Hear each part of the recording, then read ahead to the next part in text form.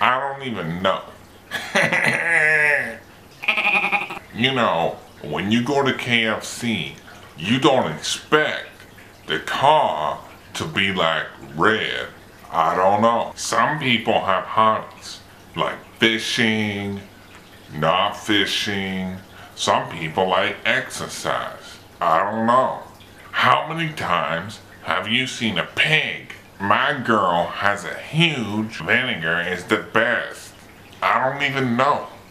Don't you hate it when you start to talk to somebody and you misjudge your rate of salivation and you almost spit all over yourself? I don't even know. What's the point in a comb if you spike your hair? I can tell you to evenly spread the product. Why do people buy decorative towels if you can't even use them? I don't even know.